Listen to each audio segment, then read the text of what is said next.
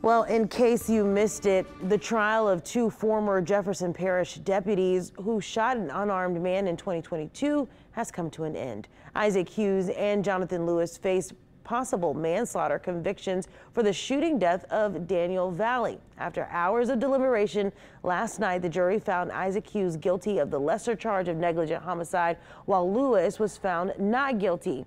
Hughes was the first to open fire on Valley during the traffic stop, firing 18 shots.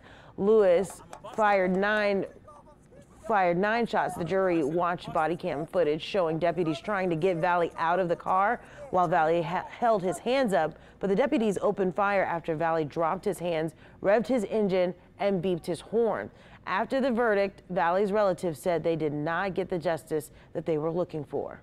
No, a guilty verdict is a good verdict, but how can you find one man innocent and one man guilty when they both did the same thing? It makes no sense. Lewis's attorney spoke after the verdict and was asked about his client being found not guilty. Tell me, why do you think the jury reached the verdict they did on your client? Well, because he wasn't guilty. He hadn't done anything wrong.